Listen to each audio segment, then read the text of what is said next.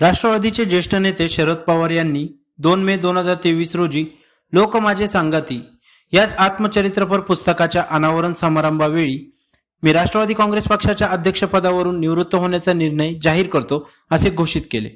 दरम्यान कोणत्याही नेत्याला याची पूर्वकल्पना नसल्याने कार्यकर्त्यांसह उपस्थित नेते मंडळी देखील चांगलेच गडबडले.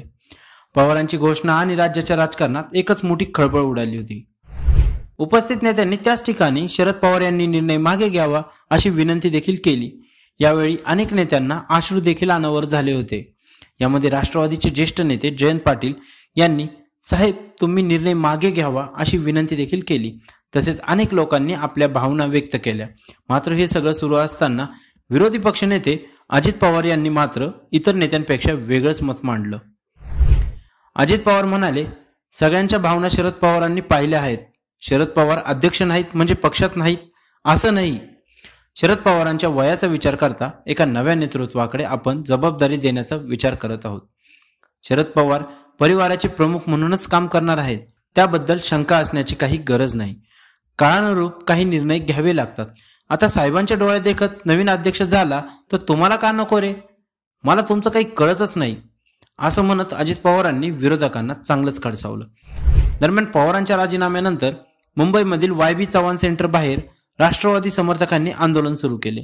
शरद पवारांनी आपला निर्णय मागे घ्यावा यासाठी कार्यकर्ते आक्रमक झाले होते. दरम्यान कार्यकर्त्यांच्या भावना लक्षात घेत्या येत्या दोन दिवसात मी याबाबतचा माझा निर्णय जाहीर करेल असे आश्वासन शरद पवार यांनी कार्यकर्त्यांना दिले. अखेर तीन दिवसांनी कार्यकर्त्यांच्या व नेत्यांच्या भावनाचा आदर करत शरद पवार यांनी पत्रकार परिषद घेत आपला पक्ष अध्यक्षपदाचा राजीनामा अखेर मागे घेतला. पवार यावेळी बोलताना म्हणाले माझ्याकडून आपल्या भावनांचा अनादर होऊ शकत नाही. आपण दर्शविलेले प्रेम आणि विश्वास यामुळे मी भारावून गेलो.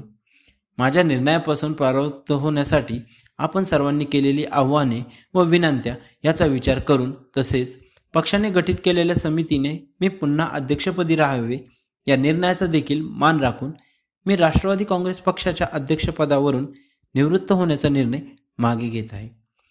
दरम्यान तीन दिवसाच्या राजकीय घडामोडीनंतर अखेर पुन्हा एकदा राष्ट्रवादी पक्षाच्या अध्यक्षपदाची धुरा ही शरद पवार यांच्याच खांद्यावरती देण्यात आल्याचे पाहायला मिळाले.